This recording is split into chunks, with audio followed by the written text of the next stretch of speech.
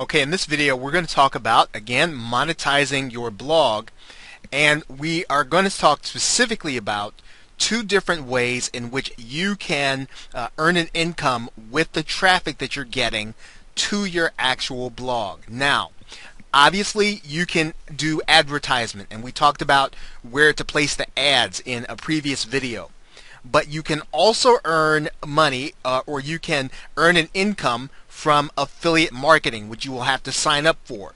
But now let's talk about the difference and why people tend to shy away from affiliate marketing. Number one, because they perceive that affiliate marketing is not passive enough, right? And so basically with affiliate marketing you have to get people or you have to entice people or you have to try to uh, influence people to take an action. And so typically when people get started in internet marketing they don't believe that they have the skills necessary to help people or to entice people to take an action. And so they perceive that if they put uh, advertising on their blog, that is an easy way to monetize. In other words, then people will then come to the site, see an ad that's already done and click on it and then you'll get paid.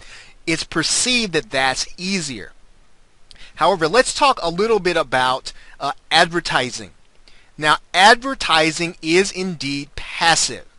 The, the problem with earning money from advertising is that it is incremental. In other words, you have to have a lot of traffic and you earn a little bit on a lot of traffic. And so the only way in which to maximize your income is that you need to have a lot of traffic.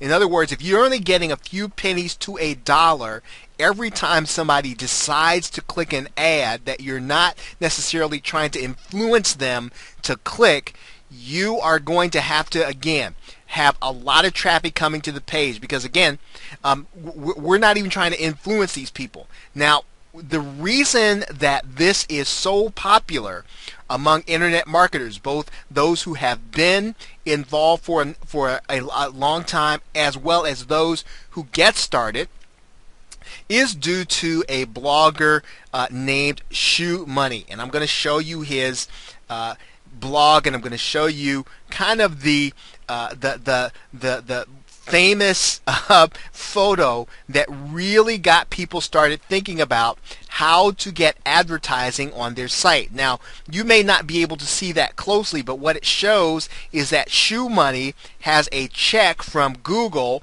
for $132,000 that he earned in a month with all uh, passive traffic and with all traffic that he got from SEO or search engine optimization. And so ever since that time, people have really been people have been focused on earning an entire income from AdSense, thinking that if ShoeMoney can generate $132,000 in a month, perhaps I can generate maybe one tenth of that, and that would be a significant income. However, again, let's talk about this again. In order to do that, you've got to have a lot of traffic in order to do it.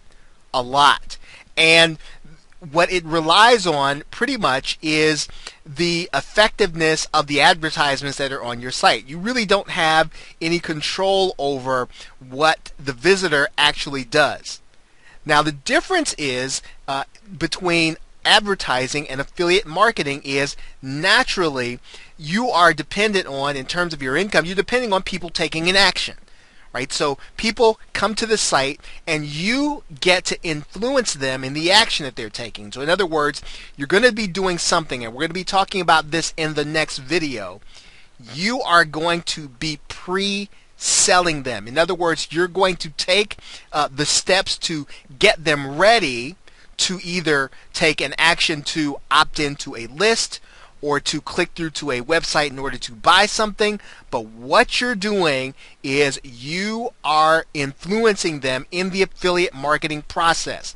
Every time a person takes an action, you'll actually get paid, but you get to influence the process.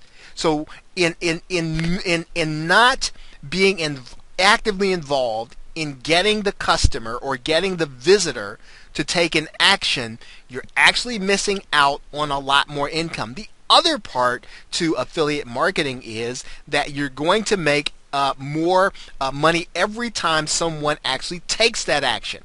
So in typically when you are advertising on your site and somebody clicks on an ad, you get a portion of of uh, a portion of the actual cost, which turns out sometimes between uh, to be sometimes between 50 cents uh, to a dollar to two dollars, but it typically is not a lot of money, and so that's why in order to earn a daily income, you've got to have a lot of people. With affiliate marketing, you could end up getting an actual portion of a sale. It's like a commission. And you get a commission for helping the company uh, to generate leads. So if someone comes to your site, clicks on uh, one of the advertisements, and they then opt into a list, you are going to actually get paid some of what uh, they're willing to pay for your generation of the lead. So affiliate marketing and advertising, they're they're different and advertising is again, it's a it's a passive activity, but it's not the only way to monetize your blog. We're going to talk about this process that most marketers when they first get started, they shy away from. This is a way that if you are willing to take this challenge, you can literally make more uh, money than you would otherwise waiting for the traffic by doing affiliate marketing. So uh, with that, I will see you in the next video where we will be talking about this act of pre-selling.